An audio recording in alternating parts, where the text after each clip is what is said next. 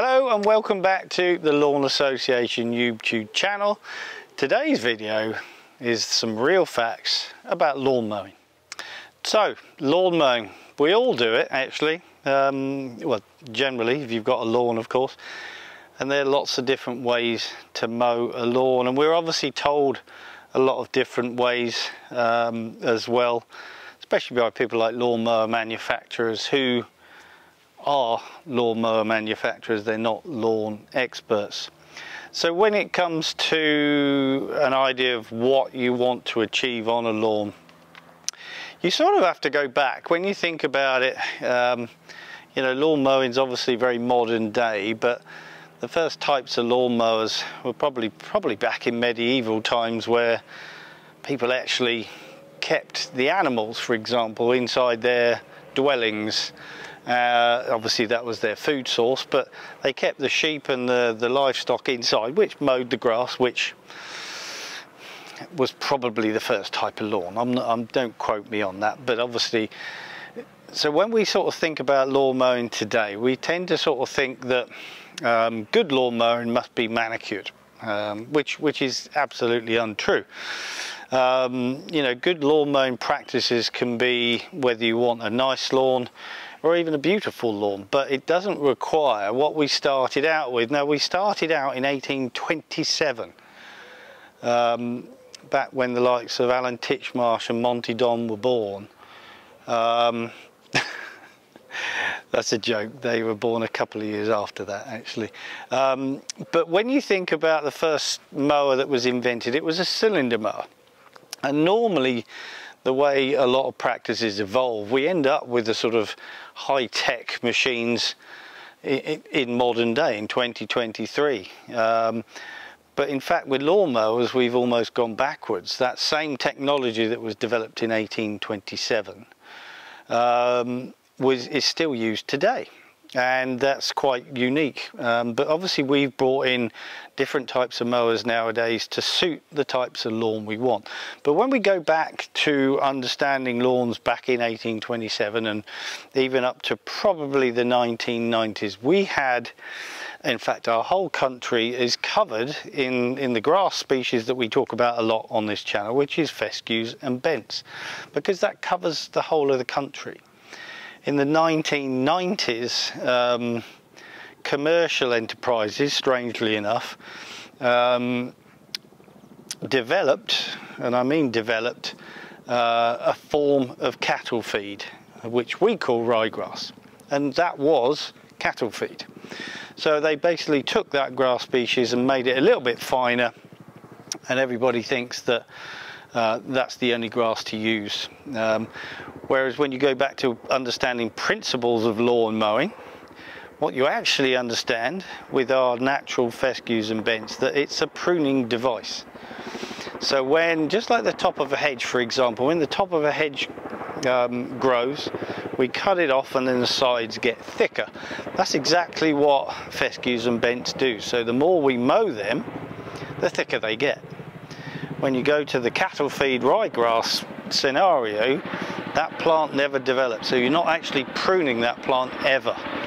It's just one of the simple facts. Um, it, as I say, it grows vertically very quickly and you have to put these plants into your lawn. But when you prune native grasses, your fescues and bents, they actually react to pruning. And we prune in two, two to three different ways. We obviously mow, which is a pruning technique. Uh, we verticut and we scarify. They're three sort of pruning techniques, technically two. Um, but they only generally work, or they only will work, on native grasses. If you've got a lawnmower company that are telling you to verticut ryegrass, all you're going to be doing is cleaning the sward out. That's all you do. If you want more plants in there, you've got to put them in there. You've got to scarify, you've got to top dress, you've got to overseed. You've got to do all those, all that work for you. But when you prune native bents and fescues, every time you mow, your lawn gets thicker. And every time you verticut or scarify, your lawn will eventually get thicker as well. So understanding the principles of lawn mowing is, is quite simple if you've got the right grass species. So um, today, what we're going to show you today, are just a, a little bit of uh, understanding. We're on the dog lawn and if you pan around and have a little look at this lawn, we've done nothing, we don't do anything to this. This had one application of true grass, as you, as you possibly know, on February the 14th.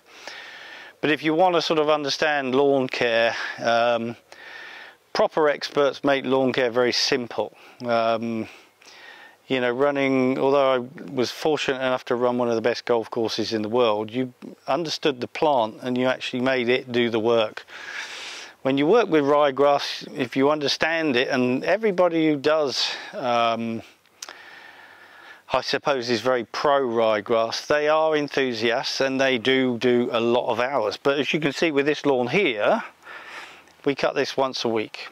Um, we fed it on February the 14th of this year, 2023. We're now in almost in mid-August and the lawn is quite nice. It's done nothing. We've no, there's no more feed. It's not had a drop of water there other than what's come out of the sky. Um, it's not had a herbicide, it never would. Um, so all we've done is make, uh, previously, make soils work and make the plant, the correct plants work, which is really, really easy. So as I say, um, if you want to learn about lawn mowing, it's good to have the right species because again, it's going to do all the work for you. So we're not, we're not looking at poa control, we're not looking at verticutting.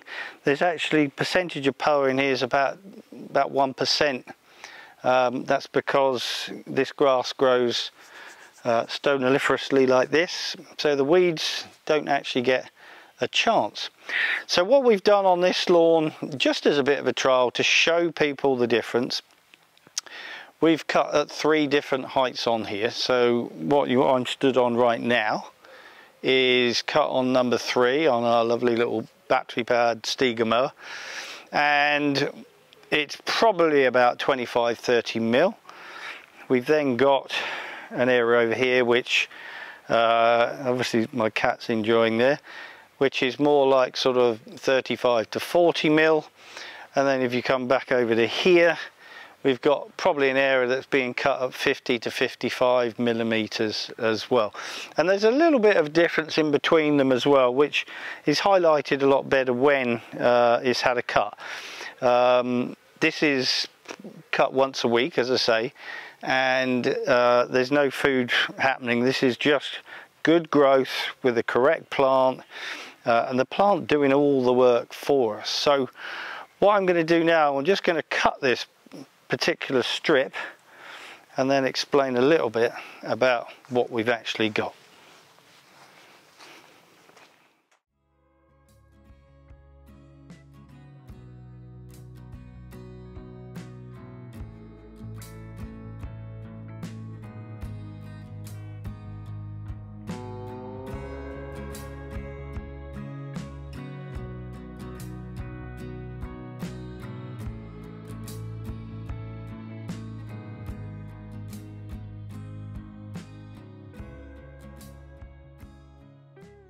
So, we're just giving that a trim. As I say, this is about 25, 30 mil. And you'll have a lot of people going, well, you know, this piece of turf, you come and have a look at this piece of turf, it's quite thick, it's quite lush, it's quite green, it's quite nice. But we've got little bits of lateral growth, this grass creeping sideways, and you'll get some people saying, oh, you need a verticutter on it. Um, do you? Do you really? If you've got ryegrass and you're verticutting, you're not pruning the plant, you're not particularly benefiting because you're not rolling a ball on it. Verticutting was introduced and designed purely for putting surfaces. That's what it was designed for. Uh, of course people will sell them. Um, especially those obsessed with the idea of trying to get rid of annua or annual meadow grass. But as a standard lawn, this is being cut on a weekly basis at about 25 to 30 millimeters. I don't use the third, the one third rule, and nobody has come back to me with their diagnosis of how they quantify the one third rule in their uh, lawn mowing world because it's poppycock. Um, even golf course managers don't use the one third rule. It's just something that's been said out there uh, and it's stuck. Uh, a bit like moss killer. That doesn't exist either. So when you look at this 25 30 mil cut once a week, a dog lawn. It's purely a dog lawn, but if you come and look, one thing you will notice is this doesn't have many weeds at all. There's not been a herbicide on here certainly uh, since we've owned the property. Got a teeny bit of buttercup coming in from that place over there. But what you can see by the height that we're cutting is every time it grows up, because this is about the right height for a sort of a nice standard domestic lawn, you get a lot more creeping grasses. So you get a lot more um, weed suppression. Um, and that's the one thing about all of these three different bits of grass is they all have a different combination. So when people talk about um, no mow May as an example, which is a bit of a waste of time in my opinion, but if you want to um, mow and gain weeds, you can see on this part over here, we're not going to mow this now, but if you come over to here, by mowing at about two to three or maybe two to two and a half inches. We've got a lot of clover coming in. We've got buttercup. We've got some lovely pink flowers down here. We've got some dandelions. We've got uh, some daisies. We've got a mixture of everything. So the weeds can still flower uh, and they can still do their bit uh, for the environment as well. But you do need that species of grass. If you go with ryegrass uh, it certainly won't look like that um, because you still get the pruning uh, technique within this sort of uh, lawn species. So you're still getting some density. The plants, um, the grass plants are still uh, doing their little bit and they're still giving you a lawn that is more grass than weed. And then if you come over to this bit, which is cut a little bit higher. As I say, this is about 40 millimeters. You've got a little bit more weed, but still you've still got that control because it's being cut monthly. You've still got a lot more control on the weed. So at the moment, you know, if you said that there was 5% weed in there, you've probably got 10 to 15% in here. And over on the longer bit, you've probably got more like uh, 20%. So the way you manage and the height of cut that you do will give you a lawn that that can be maintained sustainably. Apologies about the dogs having a little fliddy at the moment. Um, it's always the little ones, isn't it? Um, um, but what you can see is depending on what you want to achieve out of your lawn, you know, this is cut with a, a lovely Stiga battery mower, so we've got no emissions at all. Uh, we've got a one feed lawn at this present time. As I say, this is not a show lawn, this is a dog lawn, but uh, as you can see from here, um, this could look quite pretty uh, as a lawn. No cylinder mowing, there's certainly no verti cutting because what is the point? Um, you know, we've got this obsession with cylinder mowers in the in the UK and the sort of finish that they can achieve, yet we put what is sort of similar to cattle feed on them and try and maintain that, which is a little bit odd. Um, if you want cylinder mowers, these are the sort of grasses you actually want because you can turn this into a bowling green. You won't turn a ryegrass sward into a bowling green at all. Um, but as you can see, this is very nice. This would suit some people as well. And this longer grass would suit some as well. Excuse me while I intervene. This is not exactly lawn care. But hey, hey, hey, hey. So we, we apologise there. We had a little bit of a sound problem which is now in my arms. Um, so there's a YouTube debut for this pretty little man. Um, one thing I just wanted to point down here, just in front of the cat. Now, obviously, during the spring uh, and late spring at that, we had some uh, very dry weather, and uh, as you can see around here, uh, if you've watched any of the other videos, um, when you talk about annual meadow grass control, uh, all this died off. Um, and you can see around here, around my feet, this is this area is the one we normally show, and all this sort of poa annua died off. But as you can see, with a little bit of rain, it's all started to come back. So if you think poa annua control is in your lawn care uh, it's possibly worth thinking again. If you point back down to that lawn which has got less than sort of 1% um, annual meadow grass in it, that's a far better grass species. Obviously around here we've got concrete, uh, that's a drain cover obviously, so there's very little you can do there because uh, once you get shallow soils like that there's only so much you can do because uh, hot weather will burn it off very quickly. Now one thing that we just wanted to show you uh, it's a little bit late um, purely for COVID reasons. Uh, we both suffered with uh, COVID down here so we haven't been able to film too much recently but just wanted to give an update on the meadow. And there we are. If uh, if you remember anything about some of the videos that we had on this meadow. Um, again, this is an idea of another type of lawn. People don't think this is a lawn, but uh, it's full of grass. Um, it's a type of lawn. You know, we, we obviously call it a meadow, but uh, essentially it's just a longer piece of grass that we don't mow very often and we overseeded this as you uh, remember with wildflower mix to see whether we could get a combination of the two. Now with some of the heavy rain that we've had um, it's not the greatest. Time it's a couple of weeks too late presently. But if you come down here you can start to see that prior to this grass falling over we had lots of daisies in here. We had some um, pinky purple flowers down there as well. But an enormous amount of daisies in here. But what you can see with the extra growth that we've had this year is that some of this long grass is actually um, well I'm, I'm very close to six foot I'm sure. Um, and manly obviously right now. Um, but some of this is, is obviously gone up six or seven feet tall because of the uh, weather so in terms of competing with grass, you know, was our little plan successful? To some degree, possibly yes.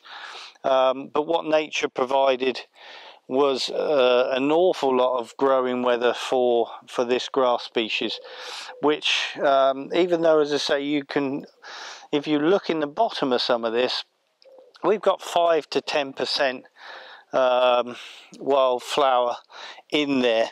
But of course it's grown so much that we can't physically see most of it now and especially as some of it's actually going over as well. So we've even got some poppy down here as well. Um, but a lot of the lower growing uh, wildflowers just literally have been eaten away by um, the the extra grass growth that we've had.